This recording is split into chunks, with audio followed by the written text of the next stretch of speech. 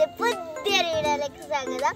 അപ്പോൾ ഞങ്ങൾ എത്തിയിട്ടുള്ളത് വാഗമൺ മെഡോസിലാണ്. അപ്പോൾ ഇവിടെ ഇരിക്കാൻ നല്ല സുഖമാണ്. ഇവിടെ നല്ല തണുപ്പൊക്കെ ഉണ്ട്. ഞാൻ സമയം കഴിയുന്നില്ല അപ്പോൾ നമുക്ക് നേരെ